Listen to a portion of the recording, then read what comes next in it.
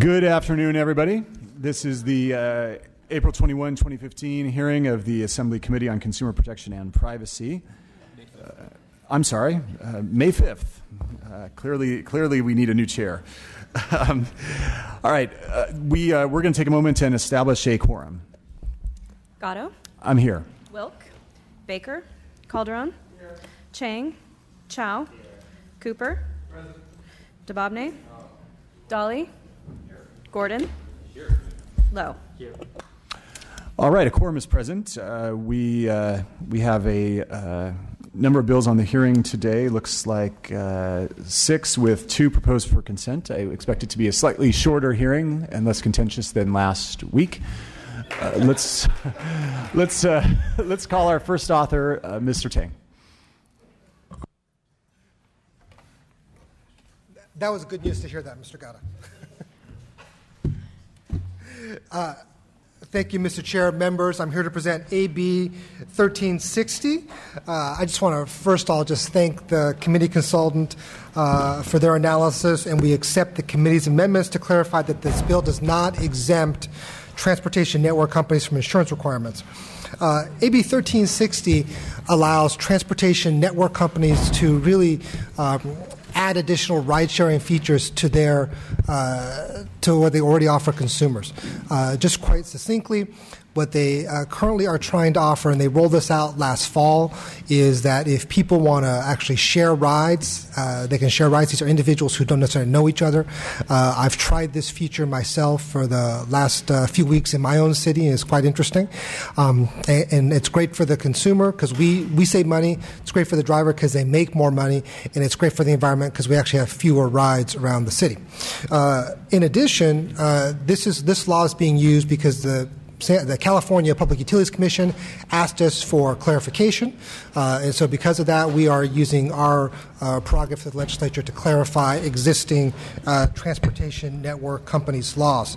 Um, I know that in particular, a number of legislators have specific questions regarding pricing concerns and transparency. So I will ask the witnesses when they talk to really address those address those concerns specifically. Uh, again, with uh, with me today are a number of representatives. Uh, we have from uh, Lyft Tim Burr, uh, from Uber Alex Lupp, and uh, Robert Callahan from the Internet Association. Move the bill. Welcome. Let's go to witnesses in support. Thank you very much, Mr. Chairman, members of the committee, and staff. Good afternoon, and thank you. My name is Timothy Burr. I'm Government Relations Manager for Lyft, work on our West Coast Public Policy team. Here today to express, on behalf of Lyft, our strong support for AB 1360. Uh, Assemblymember Ting did an excellent job explaining uh, the bill, and I just want to express um, how important this bill is to the future of ride sharing, carpooling, uh, and transportation in California. Uh, carpooling will be one of the keys to reducing congestion in this state. Right now, you may have heard the stat 80% or over 80% of the seats on the road are empty at all times. It's a fancy way of saying we tend to drive alone. Um, we have seen, we Lyft as a company launched Lyft Line in 2014. Now, Lyft Line allows multiple passengers who are traveling separate to ride together. Um, and we've seen the demand for this grow. As of now in San Francisco, over 50% of our rides um, are through Lyft Line. Lyft Line allows us to share rides, reduce the number of cars on the road, reduce the vehicle miles uh, traveled per car, split the cost, make it much more affordable, and also there's a level of transparency here where the passenger uh, can see exactly um, because you're inputting both your where your beginning and where your destination is. You get uh, basically you see how much it's going to be, also how much of a reduced fare it would be. So there's a new there's a level of transparency there. Uh, California, uh, we've, we've, always, one of our goals has always been promoting carpooling, cutting fuel consumption. 1360 is an important next step to that, and we've uh, established a broad group of environmental and business support. Really thank you all for your time this afternoon. Terrific. Thank you. Next witness. Uh, hi, I'm Alex Leip on behalf of Uber Technologies, and uh, I'd like to just associate my, my comments with uh, Mr. Burr from Lyft, but I wanted to add that our product is very similar. It's called Uber Pool. Uh, we've also seen a tremendous uh, adoption of this product since it's been launched. Um, we, in fact, over the last month, uh, estimate that more than 1 million vehicle miles have been saved in the four cities that we offer this, this product in. Um, it's uh, transparent. It has upfront pricing. Riders know exactly what they're going to be charged before they ever request a ride. Um, it reduces congestion, it reduces carbon emissions, and it's a, really a win-win-win if that's possible. Um, so, uh, again, thank you for your time and uh, uh, urge support for the bill. Thank you. Terrific. Next witness. Robert Callahan with the Internet Association, one of the sponsors of the bill. Not much to add. We think it's a great bill. Urge your aye vote. Thank you. Thank you. Let's go to witnesses and, or I'm sorry, public comment and support. Members, John Doherty uh, on behalf of TechNet in support of the bill. Mr. Chair, members, Jeremy Merz, on behalf of the California Chamber of Commerce, also in support. Thank you, Mr. Chair. Matt Robinson with Shaw Antwih on behalf of Caltrain and the City of Los Angeles today in support. Terrific. Let's go to the witnesses in opposition. If you gentlemen can make way at the desk.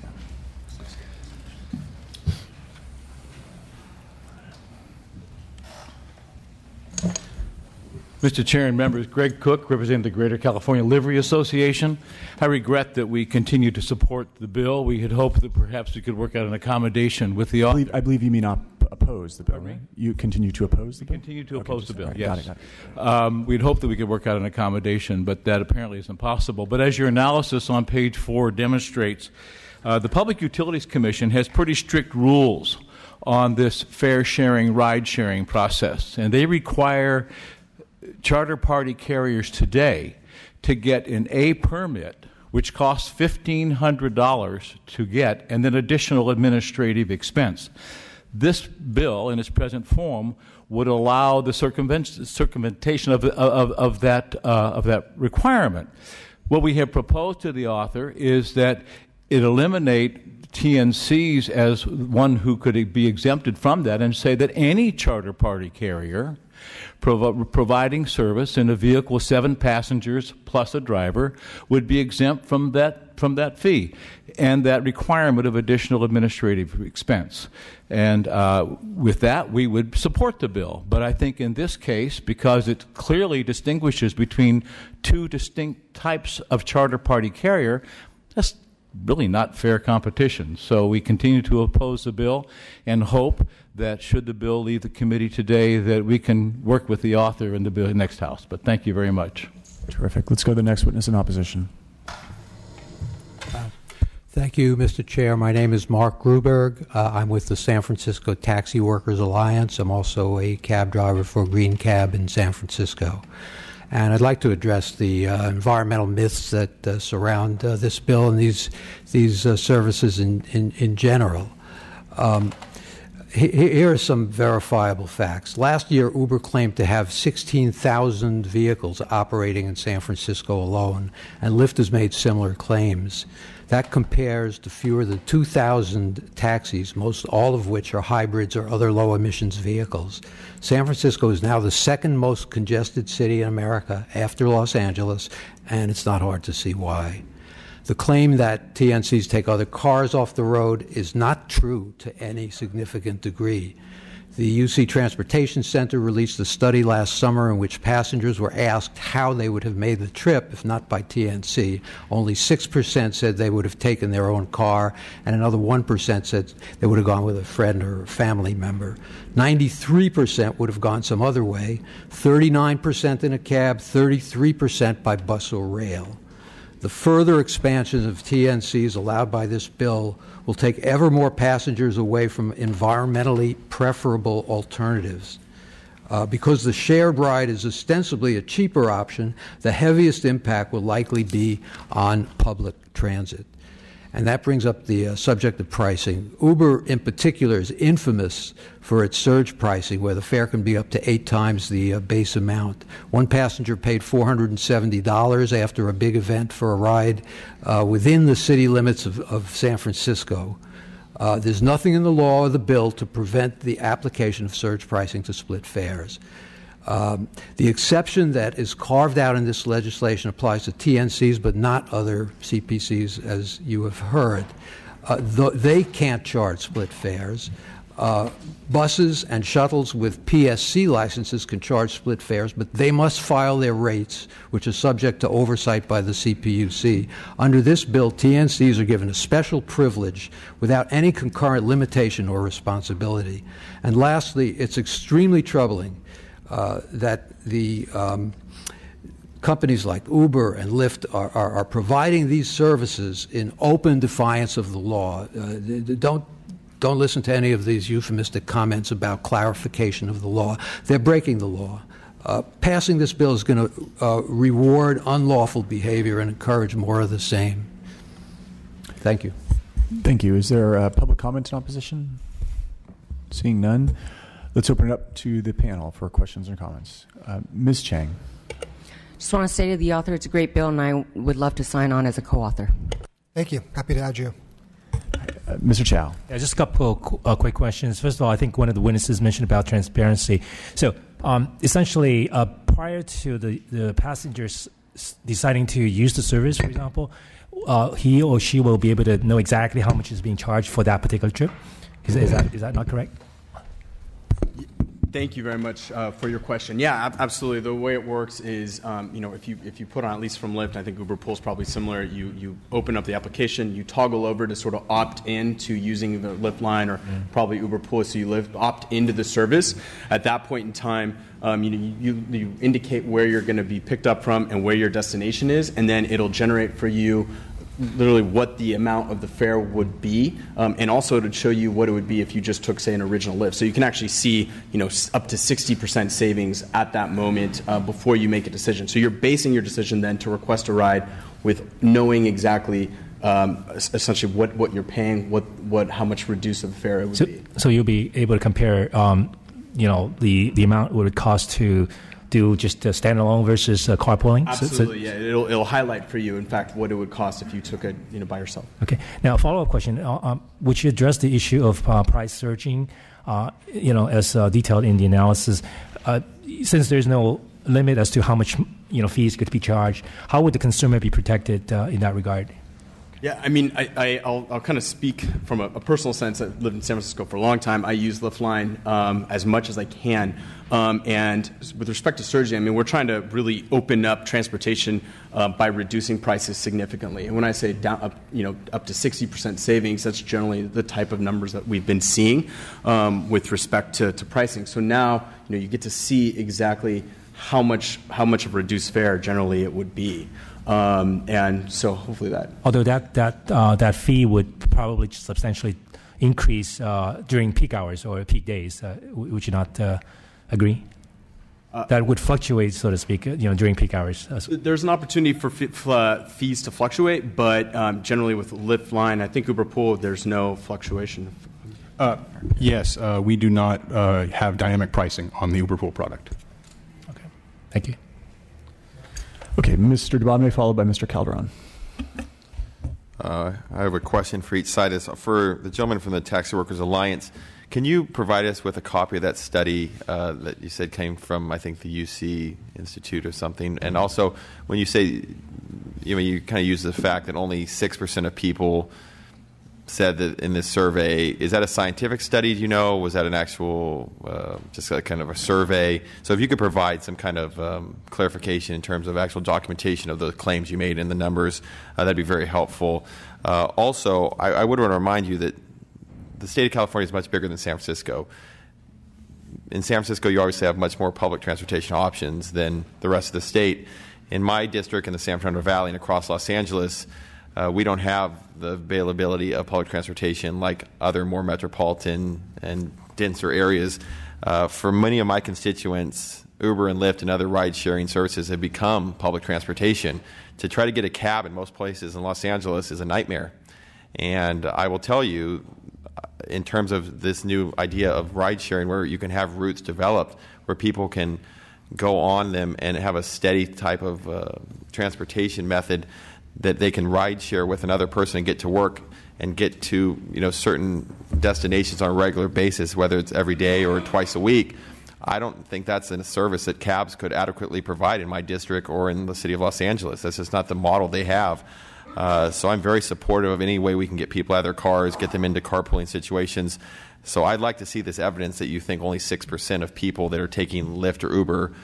I, just don't know what. Other, I mean, are you, are you telling me these people are walking? Are you t- I just don't know what the evidence is. I think that's a very bold claim to make that 94% of people taking Uber and Lyft wouldn't be in a car in some other capacity. Uh, if that was the case, we'd have a lot more bus routes in Los Angeles. So if you could provide documentation on that, I'd be very grateful.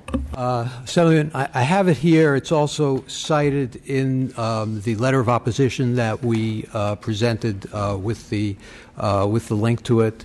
Um, um, but is it a scientific study or is it a survey? Well, this is this is a study conducted by the the um, UC Transportation Center. Uh, I, I, I, believe it conforms to um, you know scientific uh, standards, but uh, you, you if we could get a copy of that, paper, I would be very grateful. I, I will provide it to you, and uh, th- those figures. And does that reflect just San Francisco, or does that on reflect the page state? If you would like to take a look at it, I would be more than happy to. Thank you. Let's uh, go through the sergeants, if you could. Um, thank you very much. And if I, if I may address the, uh, the, the rest of your comments, you may. The um, what needs to be looked at here is the overall picture. The, the, Los Angeles area has the worst traffic, not the second worst like San Francisco. Uh, and if these services are in fact adding to road congestion, adding to pollution, adding to wear and tear on the roads, uh, and all those problems, that you know needs to be uh, seriously addressed. And I, we believe they are. There's evidence for that in this study, and uh, uh, certainly more research needs to be done on the fact.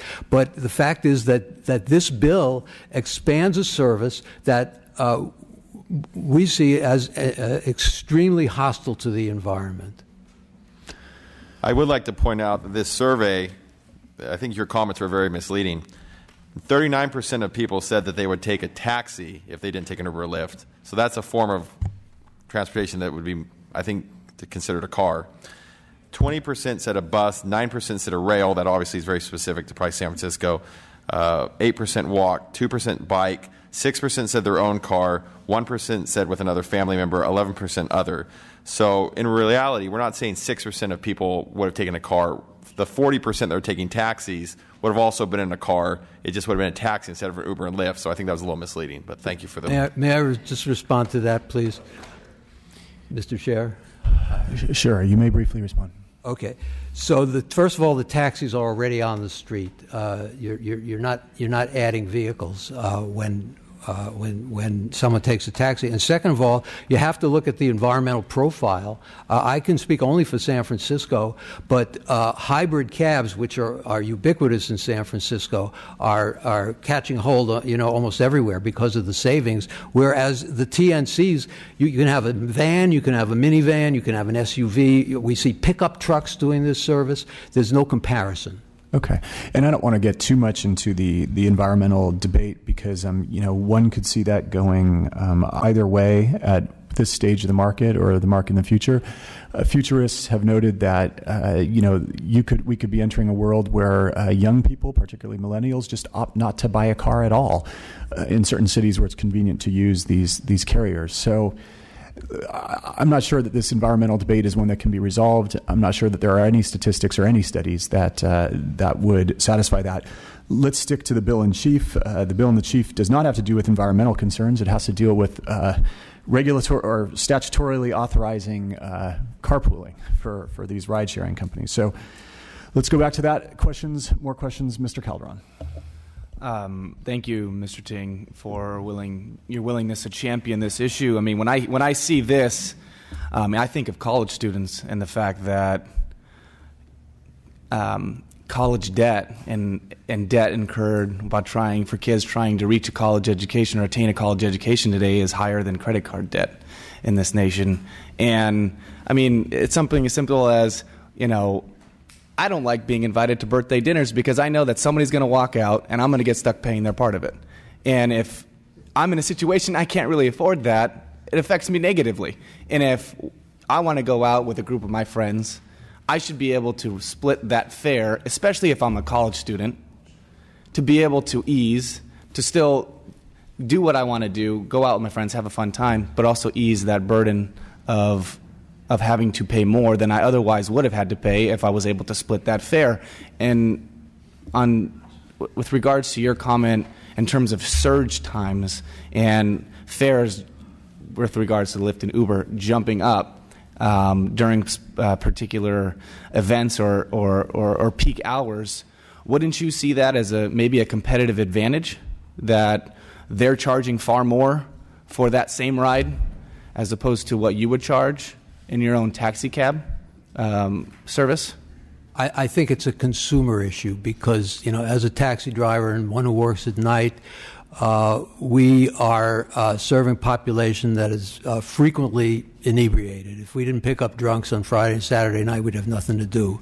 Uh, these people very, very frequently simply do not know uh, what they're paying. They often don't know where they're going, but that's another story. But um, you know, y- you can't depend on somebody opening the app and, and just, you know, punching a couple of buttons and then finding out at the end of the ride that they're paying 100 or 200 bucks. Well, I, uh, I appreciate everybody's comments. I appreciate everybody's time. Uh, but I definitely think that this is a measure worth moving forward today, and I look forward to vi- voting aye. Any other questions or comments from the panel? I don't want to shock too many people who know that I'm a Democrat by t- bringing the discussion back to uh, supply and demand and letting the market decide. But um, but this is a product where I feel very comfortable that the uh, the marketplace should and does work and does decide. Um, very familiar with your products. I think that. Um, uh, the function that requires, for example, a, a, consumer to acknowledge exactly how much they are paying, the multiple of it, for example, with Uber, is a sufficient consumer protection, even for people who are inebriated. Um, I think these products have changed the landscape of the world. Um, nothing, nothing less. Uh, I represent a district like Mr. Dababneh's where there is no public transportation or little to speak of. There is no meaningful taxi services. And what this has done in terms of taking drunk drivers off the road, I I'm not privy to any studies, but just anecdotes. But uh, but it's been profound, and uh, I think this product will make it even more accessible. And for that reason, I'm supporting the bill. So, um, and the only question I suppose is, um, at some point, I'm sure people will get married uh, using one of these products. people will meet uh, somebody using uh, your product, and, and, so maybe there's a venture capitalist out there who wants to combine Tinder with Uber Pool. All right, let's take a vote. We have a. oh, I'm sorry. Uh, you may close, Mr. Ting. I was just going to briefly, uh, respectfully ask for aye vote, but just in particular, I think uh, I think uh, I'd like to thank my colleagues who've hit on this tone. Uh, one of the biggest issues has been really around access. And before, I think uh, the cab companies have been great when you could actually get a cab, whether it's in San Francisco or LA. But for many of us, uh, or for a lot of us, we couldn't get access to that. So I think these companies have provided a product, like the chair mentioned, which has really been um, sorely in demand. So I respectfully ask for your aye vote. Terrific. Okay, properly. It has been properly moved and seconded. The motion is due pass as amended. The amendments include the technical amendments noted in the analysis, plus also adding Ms. Chang and myself as co-authors. And um, Madam Secretary, please call the roll. Gatto. Aye. Gatto, aye. Wilk. Baker. Aye. Baker, aye. Calderon. Aye. Calderon, aye. Chang. Aye. Chang, aye. Chau. Aye. Chau, aye. Cooper. Aye. Cooper, aye. Dababneh. Aye. Dababneh, aye. Daly. Aye. Daly, aye. Gordon. Aye. Gordon, aye. Low. Aye. Low, aye. That bill is passed. Thank you. Thank you very much. yeah, let's let's do the consent calendar real quick.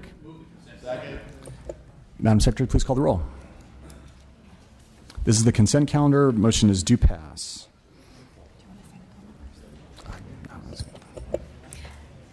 Gatto. Aye. Gatto, aye. Wilk. Baker. Aye. Baker, aye. Calderon. Calderon, aye. Chang. Chang, aye. Chau. Chau, aye. Cooper. Cooper, aye. Dababneh. Dababneh, aye. Daly. Daly, aye. Gordon. Gordon, aye. Low. Low, aye. We are uh, we are down now to committee authors, um, and uh, we're going to start with Mr. Calderon. He has Assembly Bills 634 and 691. You can start with whichever one you want.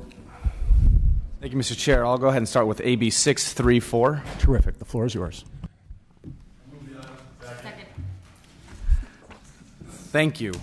Uh, first, I'd like to thank the committee um, and staff are working with my office to clarify the provisions and intent of this measure as originally introduced. AB 634 will, will protect the privacy of Californians who purchase timeshares and prevent timeshare owners from having their personal information sold to third parties, including those entities that use the information for fraudulent purposes. And since uh, we do have a motion and a second. I'm going to yield the rest of my time to my supporters. And with me today, I have uh, John Caldwell and Chris Stewart from ARDA and ARDA-ROC uh, to answer any questions. Welcome, gentlemen. Witnesses in support. John Caldwell on behalf of ARDA. Uh, again, thank you to the staff and the chairman for uh, helping us on the bill and making it uh, a, a, fair balance between uh, uh, timeshare governance and the privacy of the timeshare owners. Thank you.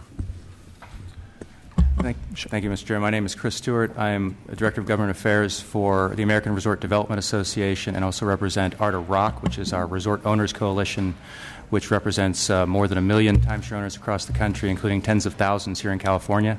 Uh, and that we, we're speaking today to support the bill to protect the personal information of those owners from being released to, uh, for solicitation or often being used for fraudulent purposes. And we, we respectfully ask uh, the committee to support that as well.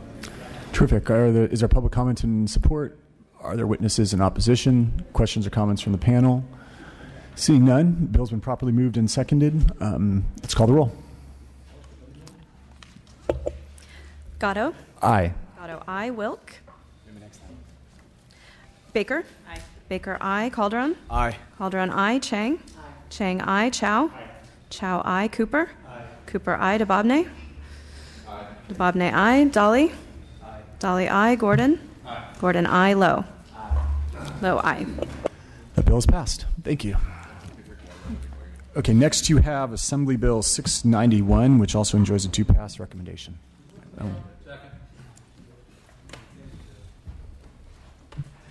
Thank you, Mr. Chair and members. As Californians increasingly use online services like YouTube, Twitter, Facebook, and email to produce and store information, it is important to consider what happens to all the private information stored on their various online accounts after they pass away.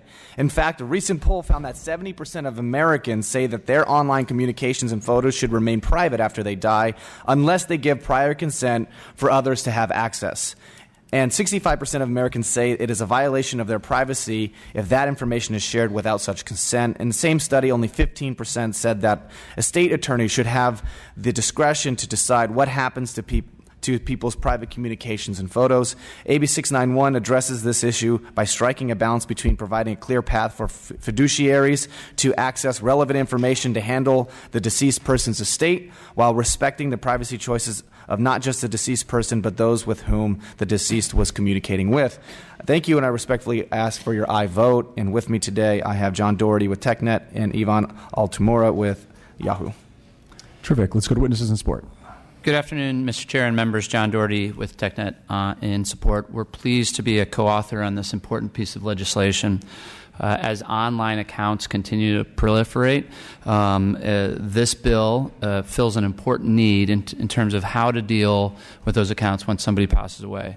Um, the right now, the state of play is that the state law is silent and federal law is silent, and those laws that are on the books actually work against disclosure. And what this bill does is provide a, a relatively simple, as simple as you can get in the probate process, uh, manner for which people to access their electronic records to help uh, administer the estate. Uh, the bill balances that need with the privacy rights not only of the decedent but of third parties. Uh, and as somebody who has been watching this debate across the, occur across the country, this bill is an important opportunity for California to set the model for the entire nation uh, on how to handle this. So we're, we're pleased to support it and uh, ask for your aye vote. Thank you very much. Next witness. Mr. Chair and members, Ivan Altamura representing Yahoo. I'd just like to echo the comments of the chair and my colleague, Mr. Doherty. Um, Yahoo is in strong support of this bill. We think it's a a good balance between protecting privacy and providing the administrators of estates with a tool that's necessary to help uh, uncover assets uh, when of a decedent. Um, we think that you know in an ever ever increasing world of uh, online uh, online data that this is an important tool and one that that will uh, will help um, foster a, an efficient administration of estates as well as um, promote uh, within the estate planning community a, a higher recognition that when, when uh, members of the public are planning for their, their estates that they uh, recognize that this is something that they have to be concerned about. Terrific. Next witness. Thank you, Mr. Chair. Members, Robert Callahan with the Internet Association, also a co-sponsor of the bill. Um, this is a novel and new issue that is we're in a unique place in time where it's very relevant for this state in particular to take a leading role in solving the pr- problem and providing a common sense legal framework for people to use going forward. So we think it's a great measure. Urge your support for the bill. Thank you. Wonderful. Let's go to public comment and support. Chair and committee members, Pat Zenzala with KP Public Affairs. I'm here on behalf of Google, and Google uh, also supports the bill. Mr. Chair, members, Jeremy Merz, on behalf of the California Chamber of Commerce, also in strong support. Mr. Chair, members, Cliff Berg here on behalf of AOL, also in strong support for the reasons stated. Mr. Chair, Chris McKaylee on behalf of the Civil Justice Association of California in support. Mr. Chair, members, Ann Blackwood on behalf of Facebook, also in support. Great. Let's go to witnesses in opposition. Seeing none. Questions, comments? Ms. Chang. Also want to commend you on a great bill, and please add me on as a co-author.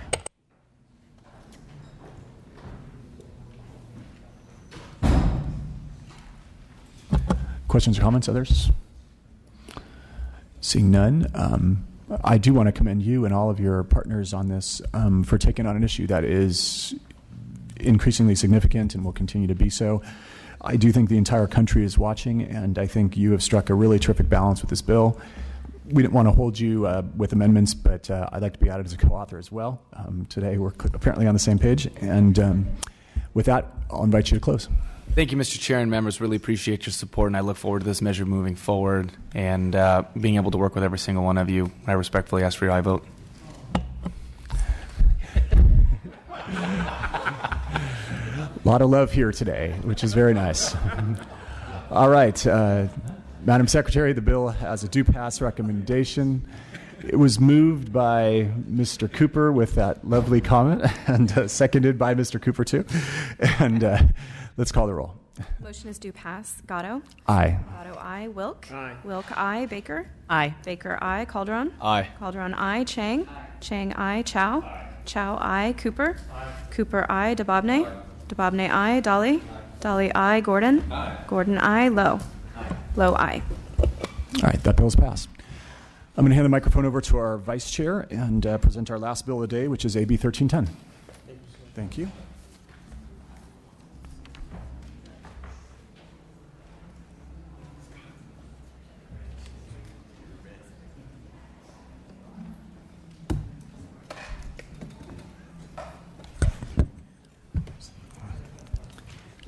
Thank you, Mr. Vice Chair and committee members.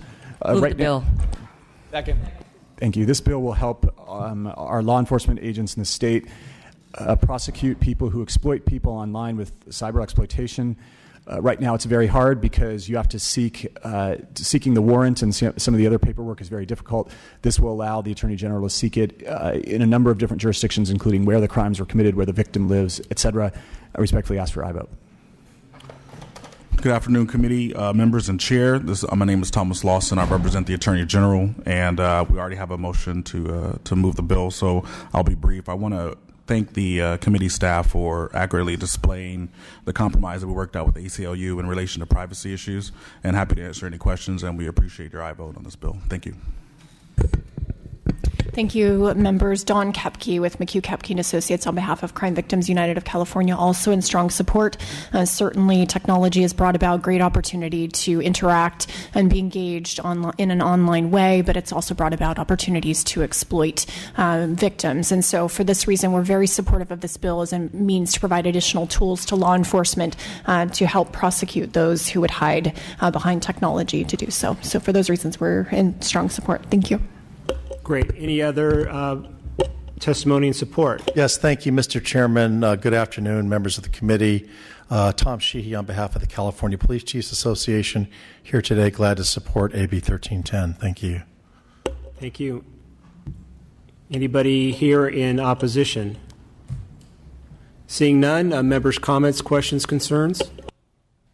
I just want to thank, thank the chair for bringing this forward. It's a great tool for law enforcement to help them out. And on the times they do investigate crimes that are misdemeanors, um, allowing them to do search warrants is, is a big help.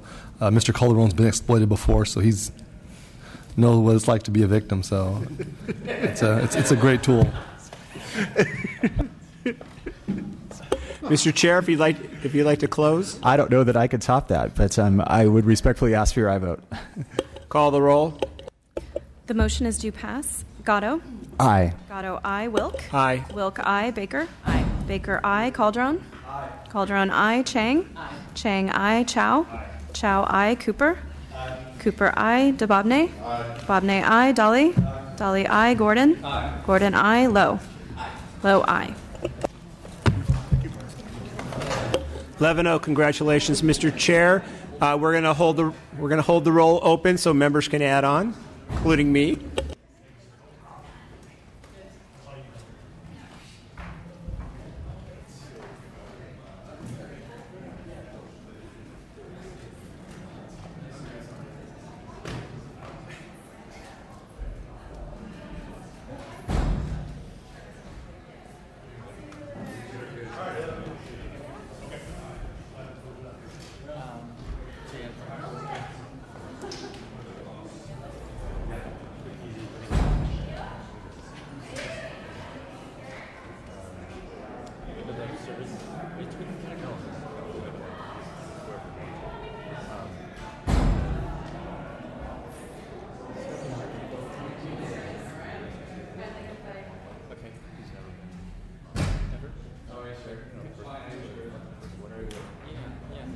First one, seven, eight, six, count. Yeah. Yeah, yeah, that's, that's, that's, All right, this meeting is adjourned.